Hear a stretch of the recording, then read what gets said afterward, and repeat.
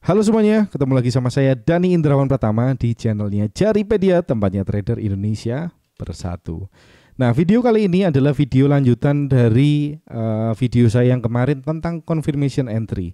Di sini akan saya bahas lebih dalam lagi, lebih lanjut lagi. Buat teman-teman yang um, belum nonton video confirmation entry, jangan lupa langsung nonton aja dulu, karena kemungkinan besar teman-teman akan nggak nyambung nih dengan pembahasan kali ini karena video ini adalah video lanjutan dari video yang kemarin saya share. Oke, nanti uh, linknya akan saya taruh di deskripsi. Oke, yang pertama, teman-teman, pertanyaan yang muncul adalah tujuannya apa nih saya melakukan confirmation entry? Kemudian pertanyaan yang kedua adalah kapan saya melakukan confirmation entry? Pertanyaan pertama, tujuannya apa? Di sini saya sudah, sudah saya tulis ya teman-teman. Tujuan confirmation entry. Teman-teman bisa lihat nih atau screenshot kalau nanti sudah uh, kelewatan supaya teman-teman juga punya catatannya. Tujuan confirmation entry terbagi menjadi dua. Oke. Yang pertama untuk mengecilkan areanya supaya apa? RR-nya akan lebih jauh lebih bagus. Misalkan nih contohnya misalkan teman-teman entry di area daily tentu aja area daily area yang cukup lebar atau teman-teman entry di weekly lah. Contoh ekstrimnya kayak gitu. Areanya akan sangat lebar. Kalau teman-teman saldonya cukup besar teman-teman akan bisa aja entry di sana. Kalau buat teman-teman yang entry-nya sorry yang balance-nya kecil teman-teman nggak akan cukup untuk entry di time frame weekly atau daily. Makanya kita menggunakan confirmation entry untuk mengecilkan areanya.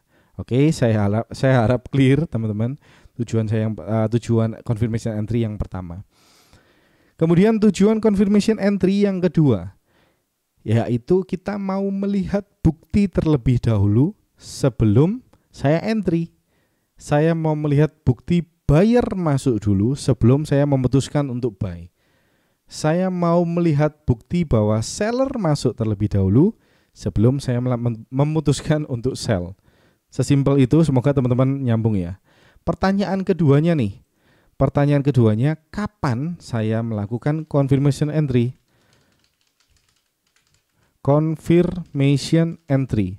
Yang pertama adalah tentu saja jika areanya terlalu lebar.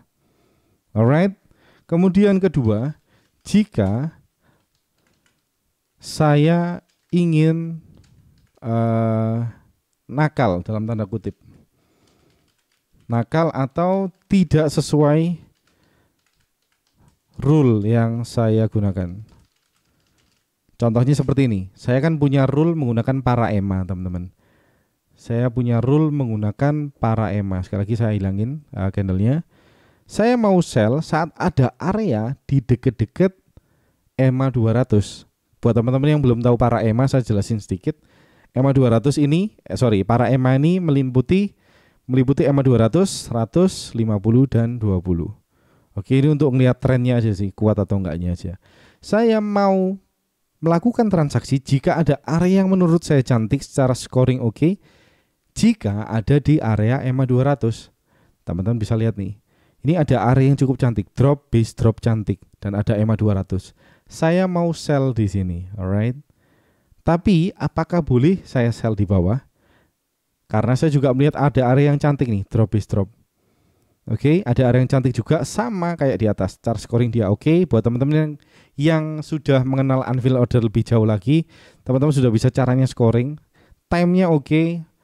Uh, secara uh, freshness-nya oke, okay. move out breakout-nya dapat. Secara location-nya oke, okay. teman-teman bisa lihat di luar white space. Clear. Kita punya sama-sama area yang sama-sama kuat kita punya area yang sama-sama kuat. Sekali lagi, yang atas juga ada flipnya, teman-teman. Kalau sudah mengenal tentang konsep flip, flipnya ini bekerja, teman-teman sekali, kemudian di break. Ini konsep flip. Kita punya flip juga di bawah ini. Ini ada flipnya, teman-teman bisa lihat flip. Flip area ini rally base rally disentuh rally, kemudian di break. Kita punya dua area yang sama-sama kuat nih. Saya mau sell di mana enaknya, teman-teman? Kalau teman-teman pakai aliran set and forget, teman-teman tentu aja sell di atas karena area yang di atas akan jauh lebih kuat. Probabilitasnya lebih tinggi daripada yang di bawah. Tetapi bagaimana jika saya ingin entry di sini? Saya mau konfirmasi dulu. Alright, clear. Sekali lagi clear ya. Semoga teman-teman clear sih. Kalau ada yang uh, kebingungan, uh, silakan komentar di bawah. Kita akan diskusi bareng. Oke, kalau teman-teman belum join di grupnya Jaripedia, jangan lupa langsung join. Karena saya akan jawab semua pertanyaan teman-teman uh, dengan harapan kita semua bisa bertumbuh bareng-bareng di industri forex ini. Alright. Nah, kita kembali ke topik ya. Saya mau konfirmasi dulu sebelum sell di area bawah ini. Oke, okay? area bawah menurut saya lebih jelek daripada yang atas. Sekali lagi karena apa? Nggak ada EMA 200-nya. Sesimpel itu. Gampang clear. Oke. Okay. Saya mau sell di sini. Caranya gimana? Nggak langsung saya sell sekarang dong. Set and forget kayak atas no. Saya mau confirmation entry dengan cara zoom in ke time frame yang lebih rendah, yaitu ke 5 menit. Alright, saya harap teman-teman nonton videonya dari awal sampai akhir supaya nggak keputus-putus karena belajar yang sepotong-sepotong akan cukup berbahaya teman-teman. teman-teman bisa lihat nih. Detik harga masuk ke area biru ini, di mana area biru ini adalah area drop drop yang bawah tadi di time frame 60 menit ya. Kita bisa garis trendline seperti ini untuk confirmation entry. Kita mau break trendline ini. Kalau dia nggak bentuk swing lagi ke atas, kita bisa lihat ternyata harga drop terus bikin swing lagi kita bisa adjust lagi trend line-nya kalau teman-teman pakai tools yang namanya pivot high low teman-teman akan dapat uh, simbol-simbol seperti ini mempermudah teman-teman untuk garis trend line-nya untuk cara garis trend line buat teman-teman yang belum tahu langsung aja nonton videonya sudah saya upload cukup lengkap videonya oke okay? kita mau sell saat harga ngebreak trendline ini OHLC nya close di luar trendline oke okay? Ternyata candle satu ini close di luar trendline. Kita gabungkan pakai teknik Fibonacci 88,6 kalau teman-teman sudah tahu ya. Kalau teman-teman belum tahu ya cari area yang uh, terbentuk pertama kali sebelum area ini ngebreak. Jadi uh, originnya di mana? Originnya yaitu ini rally base drop, drop base drop. Saya mau sell di area sana. Kita tandain pakai uh, warna merah. Sudah warna ya itu ya. Kita mau sell di sana teman-teman. Pending order masuk. Kita lihat. Harga masuk kemudian drop. Teman-teman bisa lihat nih. Oke, okay. harga masuk bisa drop. Sentuhan kedua masih drop teman-teman. Oke, okay. areanya berarti cukup kuat. Jadi kita kembali lagi nih. Kita kembali lagi ke tujuan yang pertama. Tujuan confirmation entry untuk mengecilkan areanya. Betul kan? Kita bisa mengecilkan areanya area yang seharusnya sebesar ini dari sini ke sini kita bisa kecilin areanya masuk di sini. Kita entry lebih dalam lagi di sini. Oke, okay? SL-nya di mana? Kalau saya sih saya gabungin sama distalnya di H1. Kemudian saya tambahkan sesuai rule ATR-nya. Alright, clear ya teman-teman.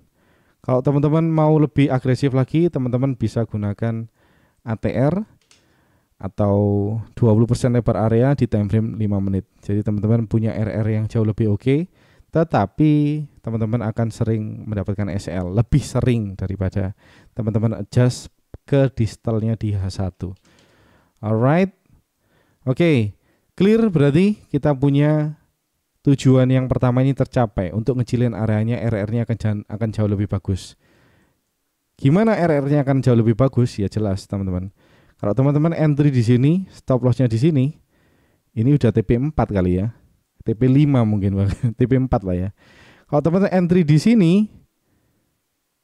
SL-nya di sini, di atasnya sini, teman-teman mungkin baru TP1. Alright, clear. Tujuan yang pertama tercapai. Kemudian tujuan yang kedua kita mau melihat bukti. Yes, kita punya bukti. Detik bahwa trend line ini di break berarti momentum uptrendnya ini di 5 menit, kita ngomongin 5 menit ya, 5 menit kan lagi uptrend nih. Uptrend di 5 menit sudah terminated atau sudah berakhir. Detik bahwa ada candle close di luar trend line, artinya momentum up-nya berakhir. Saat kita punya area yang cukup cantik seperti ini, rally base drop, base drop, kita bisa sell di sana. Alright, clear ya teman-teman. Kita sudah mengetahui nih gimana caranya uh, apa tujuannya melakukan confirmation entry. Oke, kapan saya melakukan confirmation entry teman-teman juga sudah tahu. Oke, saya harap semuanya clear. Jadi uh, jadi supaya kemarin tuh saya rasa kurang lengkap juga sih saya nge-share-nya di YouTube. Saya mau lengkapin aja supaya teman-teman mendapatkan apa ya? Semuanya secara keseluruhan, secara utuh.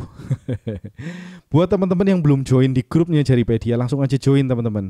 Karena teman-teman juga bisa langsung diskusi dengan saya.